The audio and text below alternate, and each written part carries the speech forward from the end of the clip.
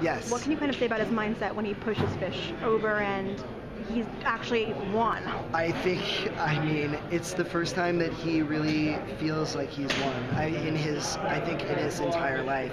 I think it's like a moment uh, where he feels for the first time that he is his own man and he is his own boss and he's an adult. And it's like, you know, and it happens so quickly for him and it's such a violent act. And you know there's a sense of shock when she goes over. And i think that shock just sort of comes from like it's like this weight has been lifted off of his shoulders like just you know being under you know the the control of everyone his entire life. That's gone.